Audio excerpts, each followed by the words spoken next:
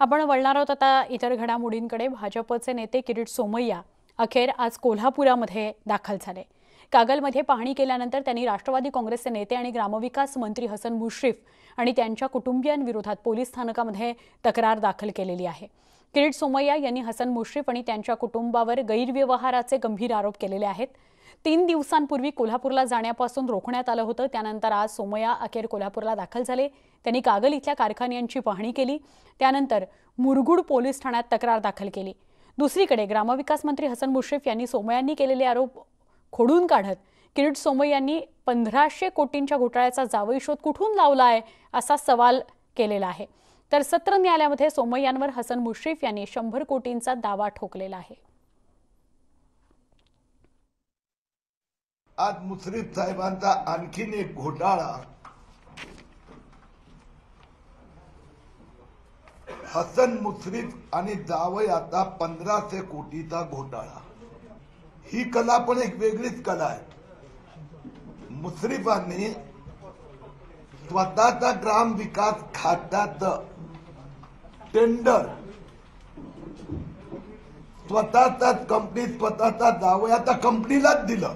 म्हणजे आपण हे मार्गदर्शक पद्धतीचं आपलं हे काम होतं हे ऐच्छिक होतं आणि त्यांना दहा मार्च दोन हजार एकवीसला त्या कंपनीला ऑर्डर दिल्यानंतर एकही त्याला ऑर्डर मिळाली नाही किंवा एकही पैसा अदा करण्यात आला नाही. आता हा पंधराशे कोटीचा घोटाळा कुठनं यांनी जावा शोध लावला.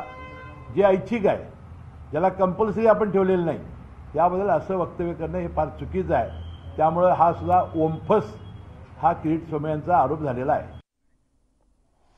दरम्यान जीएसटी आणि टॅक्स भरण्याकरता ग्रामपंचायतींवर ठराविक कंपनी जबरदस्तीनं लादण्यात आल्याचा आरोप किरीट सोमय्यांनी केलाय. तर या आरोपात कोणतंही तथ्य नसल्याचं हसन मुश्रीफ म्हणत आहेत. त्या सगळ्या ग्रामपंचायतीसाठी त्यांनी ऑर्डर काढली.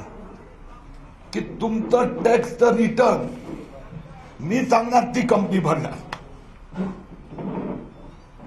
तुमचं जीएसटी रिटर्न टीडीएस रिटर्न मी सांगणार ती कंपनी आणि मी सांगणार तेवढी फी द्यायची.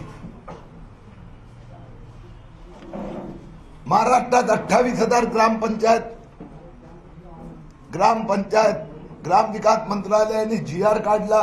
मी सांगितलं तुम्हाला रजिस्टर्ड ऑफ कंपनीज याच्यामध्ये साईटवर जी कागदं आपण भरतो ती महिन्याच्या आत भरावी लागतात. तीच कागदं त्यांनी दिलेली आहेत. दुसरी कुठली कागदपत्रे आहेत?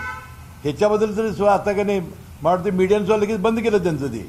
त्यानंतर त्याला लक्षात आलं की हे काय खरं नाही. एक पैसाही दिलेला नाही अजून. एक पैसा दिलेला नाही एक ऑर्डर दिलेली नाही या जी एस टीची फक्त त्याला मार्गदर्शक सूचना होत्या कंपनी